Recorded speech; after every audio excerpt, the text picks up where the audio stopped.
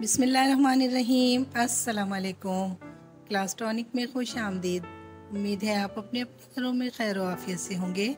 अल्लाह आपके घरों में, आपके जान माल में और आपके किचन में बरकतें अता फरमाए। हम, हमारा मिशन, बल्कि हमारा मिशन यही है कि आसान चीज़ों से, सस्ती चीज़ों से हम अपने किचन को आबाद करें। और ऐसी चीज़ें बनाएँ जो हर वक्त घर में ही मौजूद होती हों, सस्ती हों जायके में अच्छी हों, देखने में खूबसूरत हों तो हम ऐसी ही चीज़ों को प्रेफर करते हैं। आज हम बना रहे हैं बिस्किट। बाज़ार में अब बिस्किट बहुत महँगे हैं, लेकिन हम घर में बनाएँगे, घर के आटे से, चक्की के आटे से बिस्किट बनाएँगे और बहुत कम इंग्रेडिएंट से बनाएँगे, बहुत सस्ते बनाएँगे। तो शुरू करते हैं अपनी रेसिपी बिस्मिल्लाह एक अंडा लिया हमने। इसको प्याली में अलग से पहले तोड़ लिया ताकि अंडा ख़राब हो तो पता चल जाए।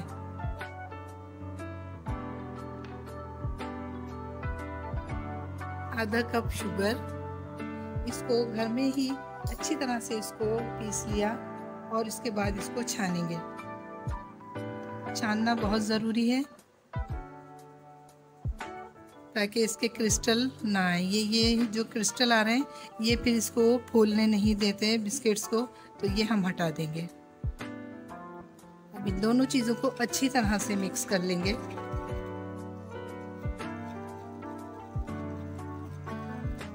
जितना अच्छा मिक्स करेंगे, इतने अच्छा हमारा रिज़ल्ट होगा।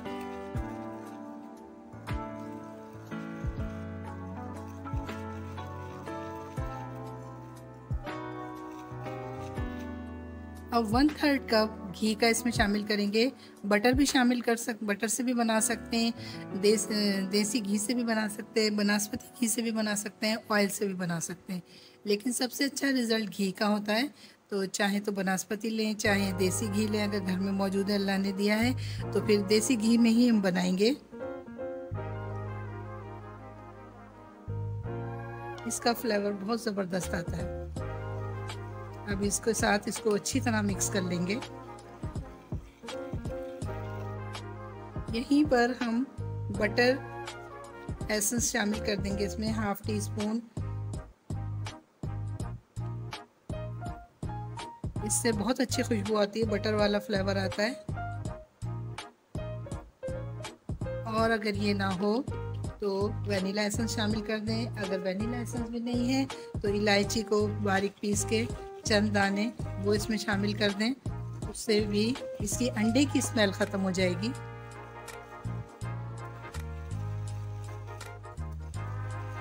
अब इसमें हम आटा शामिल करेंगे।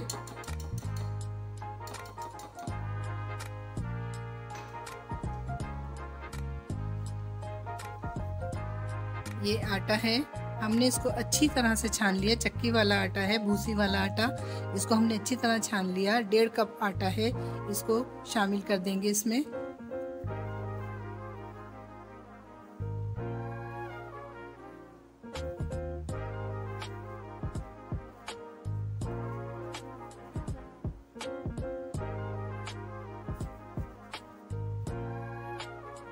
साथ ही इसमें एक चुटकी नमक के शामिल करेंगे। सॉल्ट और इसमें बेकिंग पाउडर एक चम्मच और एक चुटकी के करीब बेकिंग सोडा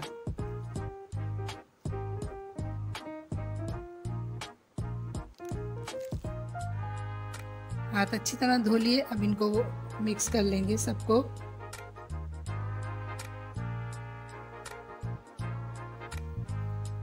सारा मिक्स हो गया। अगर इसमें घी कम लगेगा तो एक दो चम्मच और डाल देंगे या आ, आटा कम लगेगा तो वो डाल लेंगे। लेकिन ये परफेक्ट रेशो है।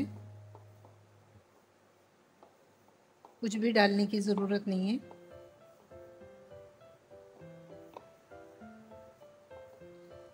एक दो मिनट का इसको रेस्ट दे देंगे।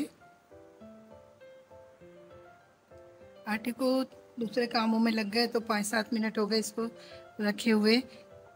इसमें हमने कुछ भी नहीं किया, बस अब इसको बिस्किट बनाते हैं।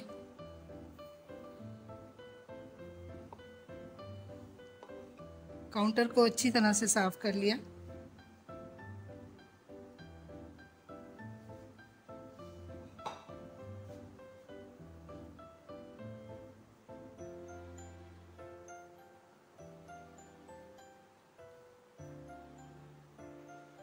चाहे हाथों से फैला लें या बेलन की मदद से इसको हल्के हल्के बेल लेंगे। क्रैक्स की फ़िक्र नहीं करेंगे।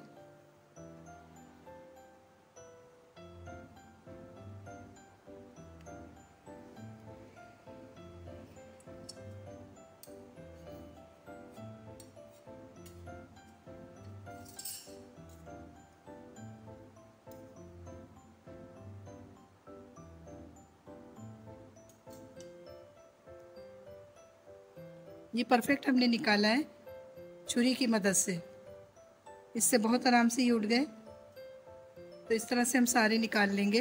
ये हम ट्रे लेकर इस पर हमने थोड़ा सा एक चम्मच से भी कम घी डाला और इस पर दो तीन चुटकी हम आटे की डालकर इसको फैला लेंगे। इस तरह से और इसको इस तरह फैला के बाकी आटा हम वापस झाड़ देंगे। छुरी की मदद से आराम से हम ये उठाते जाएँगे और ट्रे में रखते जाएँगे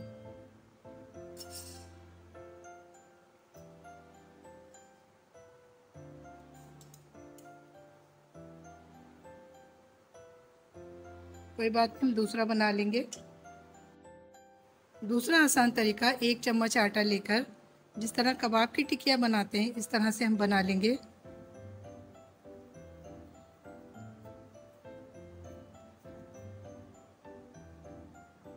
क्रैक्स की फ़िक्र नहीं करनी। क्रैक्स तो बाद में ख़त्म भी हो जाते हैं, बल्कि खूबसूरत लगते हैं देखने में।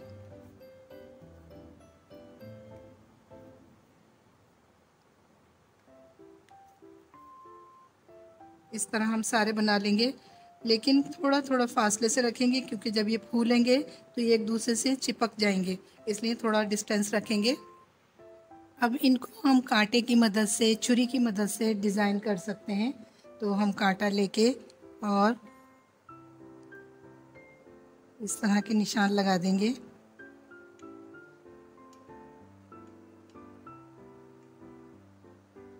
अपनी मर्ज़ी से लगा देंगे मुख्तलिफ़ तरीक़ों से।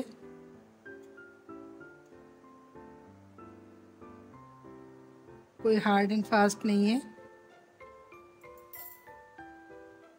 छुरी की मदद से लगा देंगे।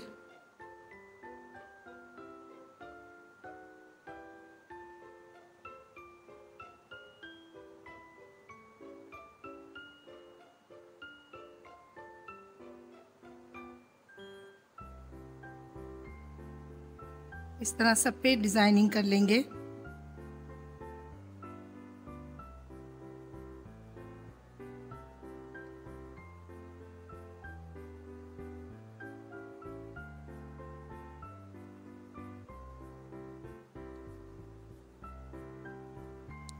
कप में थोड़ा सा दूध लेंगे और रुई की मदद से या ब्रश की मदद से इन पे अच्छी तरह से दूध अप्लाई कर देंगे। इससे बहुत सॉफ्ट होंगे और शाइनिंग आएगी इन पर और इनको फ्लेवर भी हम देंगे अभी। घर में मौजूद चीज़ों से हम इनको फ्लेवर करेंगे।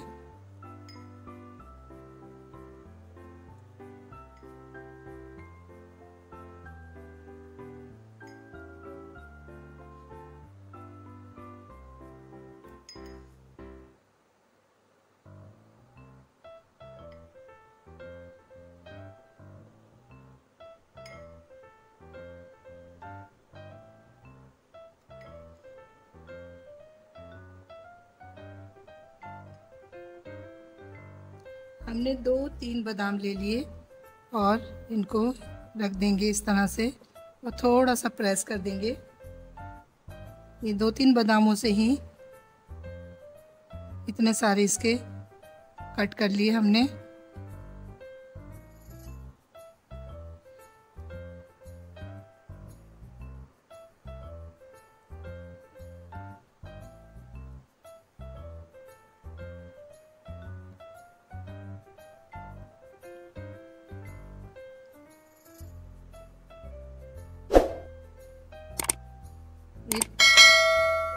तीन बादामों से हमने कट किया इनको।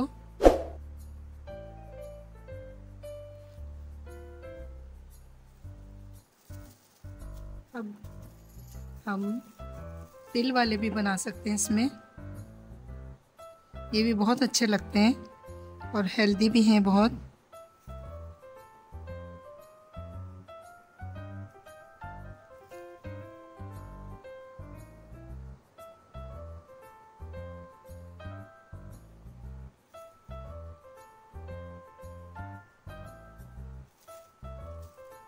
अब इनको हम दो तरह से बनाएँगे। ओवन में भी बना सकते हैं और तवे पर भी इनको आराम से बनाया जा सकता है। बहुत आराम से तवे पर बन जाते हैं। तो ये वाले हम ओवन में रख देते हैं और तवे वाला प्रोसेस भी बताते हैं। ओवन को हमने प्री हीट कर लिया। ये बाकी के हैं इन पर हम चम्मच की मदद से डिज़ाइन बनाते हैं।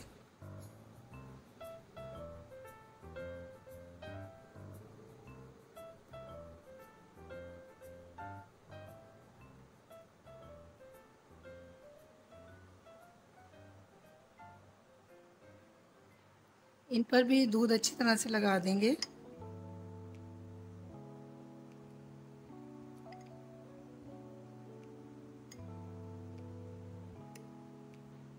इनको हम दूसरा फ्लेवर देंगे। ज़ीरा लगा देंगे इन पे।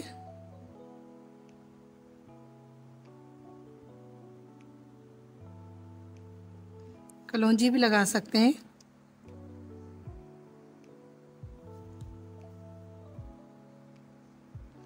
हाथ से हल्का सा प्रेस कर देंगे ज़ीरा डाल के।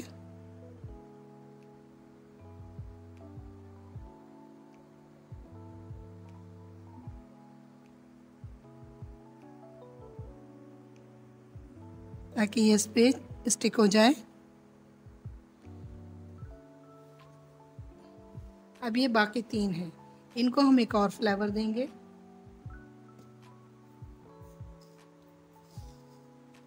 शुगर का फ्लेवर बहुत अच्छा आता है। जब ये दाने दाने से आते हैं मुँह में तो इन पे हम शुगर स्प्रिंकल कर देंगे।